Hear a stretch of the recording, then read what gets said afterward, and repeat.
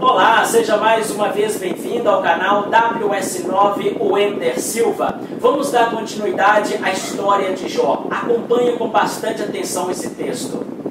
Ali os ímpios cessam de perturbar e ali repousam os cansados. Ali os presos descansam juntos e não ouve a voz do exador. O pequeno e o grande ali estão e o servo está livre do seu senhor. Porque se concede luz ao aflito e vida aos amargurados de alma, que anelam pela morte sem que ela venha, e cavam em procura dela mais do que tesouros escondidos, que muitos se regozijam e exultam quando chega a sepultura? Sim, por que concede luz ao homem cujo caminho está escondido e a quem Deus cercou de todos os lados? Pois em lugar de meu pão vem o meu suspiro, e os meus gemidos se derramam como água, porque aquilo que temo me sobrevém, e o que receio me acontece. Não tenho repouso, nem sossego, nem descanso, mas vem a perturbação. Então Jó, ele questiona, por que dar vida? Por que a pessoa viver se vai sofrer tanto? Por que? Que sentido tem? E aí ele fala, eu não tenho, o que eu mais temia é o que me aconteceu. O que eu temo, o que eu mais reguardava é o que me aconteceu.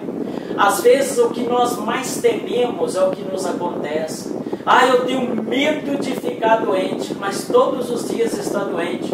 Eu tenho medo de isso acontecer, eu tenho medo. Quanto mais você tem medo de determinados acontecimentos, mais isto virá sobre você. Quanto mais preocupado você ficar com uma situação, mais ela virá ao seu encontro. É incrível, mas é assim. Pode prestar atenção. Quanto mais medo você tem de algum tipo de acontecimento, é esse acontecimento que te chega. Jó ele disse isso. O que eu mais receava, o que eu mais temia, foi o que me sobreveio. Todo rico tem medo de ficar pobre. Todo saudável tem medo de ficar doente. Todo homem que tem família, ele tem medo de perder alguém da família. E aí você pode fazer nessa lista enorme. E Jó, como era muito rico, tinha servos, tinha empregados, tinha os filhos, tinha esposa, tinha muitos amigos, ele tinha medo de perder tudo isso, mesmo ele sendo servo de Deus e tudo, mas ele tinha medo. E aí ele fala: aquilo que eu mais temia me aconteceu.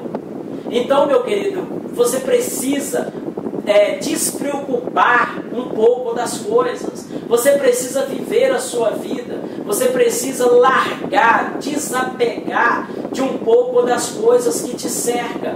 Porque quanto mais você luta, mais você está oprimido. Quanto mais você bate a cabeça para lá e para cá para sair de certa situação, mais ainda você se sente preso, se sente oprimido, deprimido. Você precisa descansar em Deus. Você precisa relaxar um pouco das suas preocupações, dos seus medos. Quanto mais medo você tem de uma situação, mais esta situação fica volumosa, mais ela cresce, mais força ela tem para lutar contra você, porque você está concentrado somente nela. E aí a coisa fica ruim, ok? Eu te vejo aqui amanhã com mais uma palavra de Deus.